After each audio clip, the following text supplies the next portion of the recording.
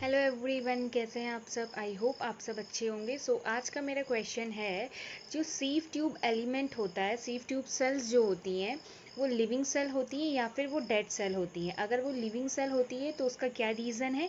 अगर वो dead cells होती हैं तो उसका क्या रीज़न है? अगर आप लोगों को इसका आंसर पता है तो मुझे नीचे कमेंट में दीजिए। I will repeat my question sieve tube elements are either living or dead cells if they are the living cell what is the reason behind that and if they are the dead cell what is the reason behind that okay इसका answer आप लोग मुझे नीचे comment में दीजिए।